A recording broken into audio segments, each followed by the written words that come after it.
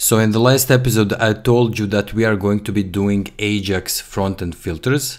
And that episode is actually up while you're watching this episode. Uh, because this episode is actually optional. So in this episode, I just want to show you how you can integrate a semantic UI CSS framework to your October CMS project uh, using Laravel Mix and NPM.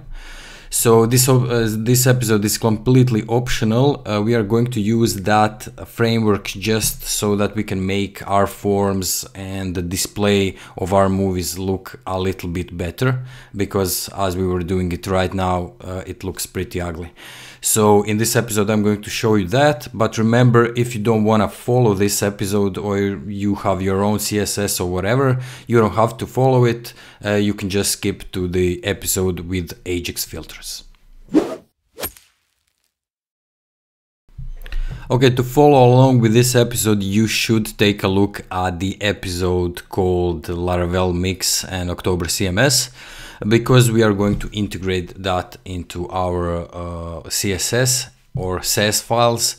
Uh, but I think you can also use Gulp or maybe even uh, Laravel Elixir. It will work either way.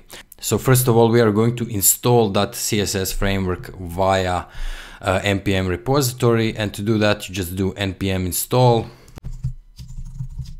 semantic UI dash css so it's important to install this version because we are just going to use the css from it. Uh, you already have uh, other versions which have some js in it components and so on. We are not going to be using that. We just need the css so just do npm install semantic ui css okay so once this is installed uh, we will run npm run watch because we are using Laravel mix for this site. So npm. And once it started, uh, it's going to automatically open up our page in our browser. Okay. So now we have our page right here and now we just have to integrate semantic UI to our uh, SCSS files. And to do that, I'm just going to go to themes, Olympus, assets, Sass, and then you go right here to style.scss. I'm just going to remove this Susy that I have here because we are, we are not using it, so we don't need it and then we are going to import semantic UI. Now, since we installed it via npm, uh, you would import it this way.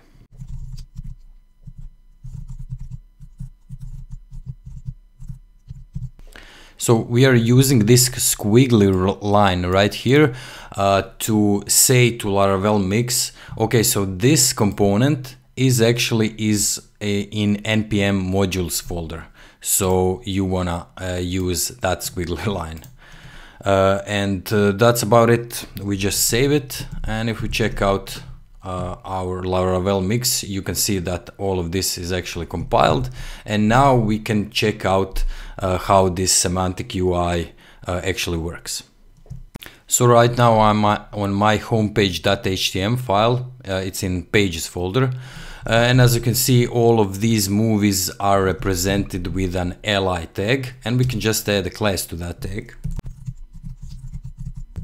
So UI segment and if we save it, you get this. So this is how the segment uh, component looks in Semantic UI and also you can check other ones. So you can go to semanticui.com, click on get started and you have all of the components that you can use. You have buttons, segments and so on. If you check out this segment, part so once you write segment it's uh, it looks like this it can also be raised it can also be stacked so if we check out the code for that, it should be just stacked segment. So we just add stacked right here and now our movies look this way and so on. So this is the way you would import semantic UI to your October CMS site.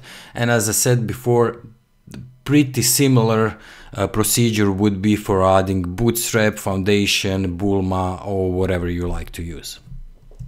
Okay, now that we got this covered, you can go and check out the next episode in this series, which is going to be about Ajax frontend filters.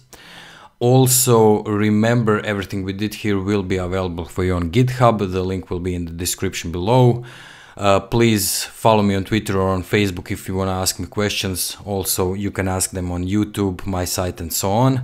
Uh, if you like this video please give it a thumbs up. If you like the channel maybe subscribe to it. And if you want to send some money my way you can use the patreon page for that. Thank you guys for watching and i will see you very soon in the next episode